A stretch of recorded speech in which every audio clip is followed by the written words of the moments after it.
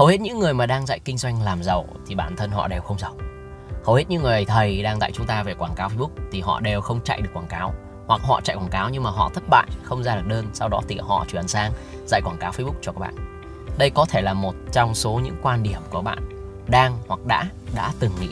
Có rất nhiều người đang tò mò về con đường kinh doanh của mình, là hiện tại thì mình còn bán hàng ở trên Facebook hay không? Mình bán được nhiều đơn hay là ít đơn?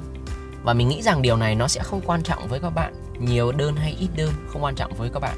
Điều quan trọng là khi mà các bạn lựa chọn mình để học thì những kiến thức mà mình chia sẻ cho các bạn bạn có áp dụng được không? Nó có hiệu quả hay không? Hay quá trình học tập của bạn nó có diễn ra tốt hay không? Bạn có kết quả hay không? Thành công trong quảng cáo không thể đo lường bằng việc bạn bán được nhiều đơn hay bán được ít đơn. Thành công trong quảng cáo là bạn liên tục tiến lên và đạt được những thành tựu và những kết quả mà bạn mong muốn đạt được.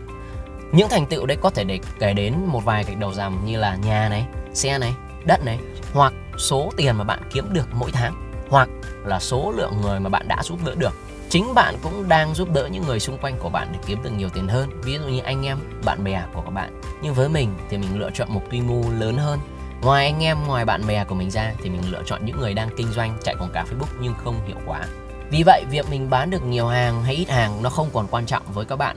Quan trọng là ở thời điểm hiện tại, mình cam kết mình vẫn là người bán hàng các kiến thức mình dạy ra chia sẻ ra cho các bạn vẫn thực chiến vẫn từ mình mà ra chứ không phải sao chép một người nào đó sau đó dạy lại cho bạn và nó không hề sao rỗng và trong ngày hôm nay thì mình sẽ chia sẻ cho các bạn những cái điều khó khăn hoặc những cái giải pháp khi chúng ta đang chạy quảng cáo ở trong mùa dịch ở thời điểm hiện tại có thể nói rằng ở thời điểm hiện tại chạy quảng cáo thì chi phí quảng cáo khá thuận lợi bao gồm chi phí messenger, chi phí trên một đơn hàng.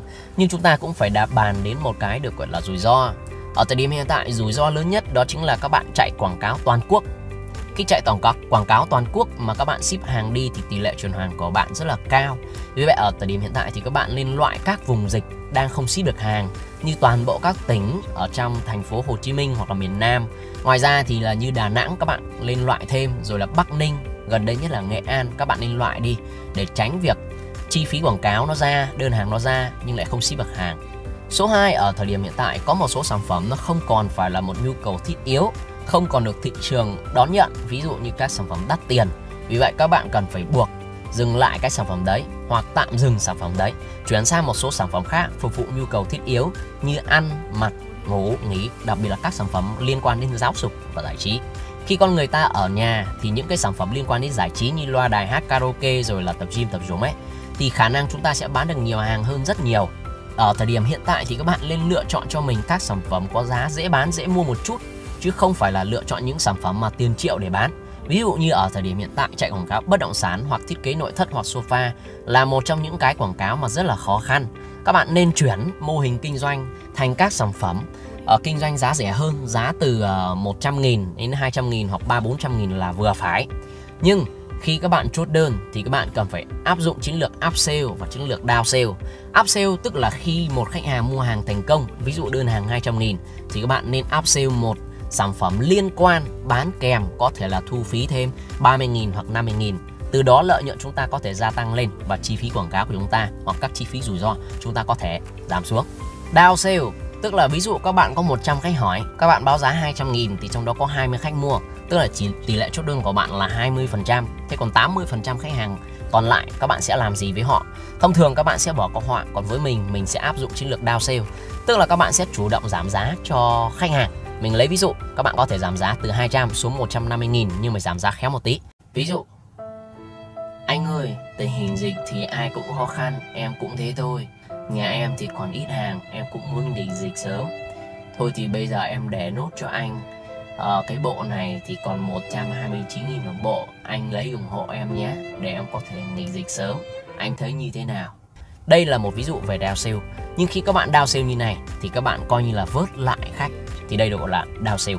Tiếp theo một lưu ý nữa là ở thời điểm hiện tại khi chúng ta loại đi khoảng tầm 26 27 tỉnh thành phố thì tệp khách hàng của chúng ta sẽ bé, sẽ có một số sản phẩm sẽ có quy mô đối tượng tổng volume tệp nhỏ hơn 2 triệu người.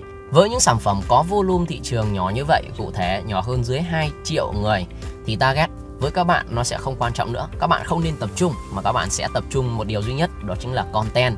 Với tổng volume 2 triệu người thì với mình volume này được gọi là volume bé. Khi các bạn chạy quảng cáo 1 triệu đến 5 triệu trên một ngày thì chúng ta có thể là uh, nhanh phủ tẹp với những người mới chạy quảng cáo hoặc mới chi tiêu khoảng tầm 1 triệu 2 triệu một ngày thì thông thường họ hay đi copy content của người khác vì vậy khi quảng cáo phân phối đến khách hàng hiển thị đến khách hàng thì các bạn cần phải kiểm tra lượt nhấp hoặc lượt click vào quảng cáo xem nó có cao hay không.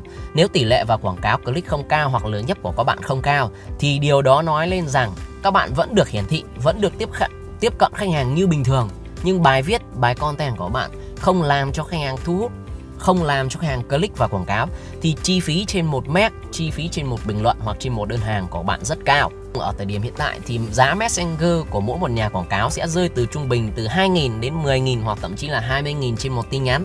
Điều này có quan trọng với các bạn hay không? Với mình thì là không. Với mình, tiêu chí của mình khi các bạn chạy quảng cáo thì tiêu chí cuối cùng đó chính là các bạn chốt được bao nhiêu đơn, kiếm được bao nhiêu doanh thu. Cứ miễn là chi phí quảng cáo dưới 30% của doanh số hoặc doanh thu như vậy là đủ. Các bạn không cần phải chạy đua hoặc là chạy theo những cái trend như là mét rẻ 1.000 trên 1 mét hay là 500 đồng trên 1 mét hoặc là chạy chuyển đổi. Điều đó không quan trọng đối với mình.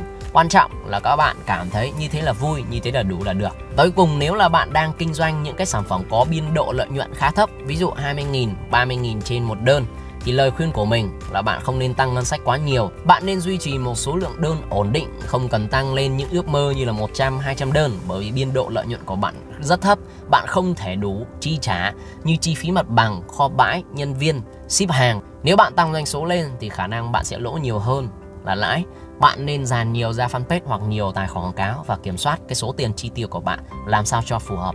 Đại loại là bạn đừng mơ tưởng đến 200 đơn hoặc 500 đơn một ngày. Hãy tìm một sản phẩm khác nó phù hợp hơn. Còn với sản phẩm của bạn thì bạn chỉ nên duy trì hoặc như trong marketing nó gọi là con bò. Con bò thì bạn nên vắt sữa, đừng có tăng ngân sách nhiều quá.